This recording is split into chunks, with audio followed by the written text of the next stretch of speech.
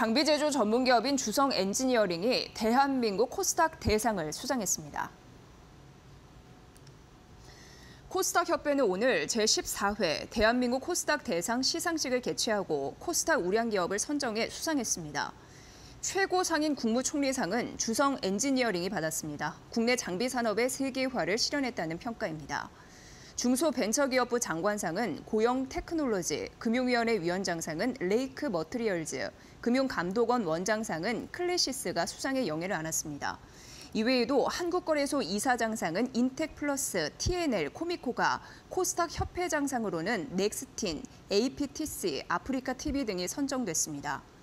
지난 2004년 시작된 대한민국 코스닥 대상은 올해부터는 최고상이 정부 시상인 국무총리상으로 격상됐습니다.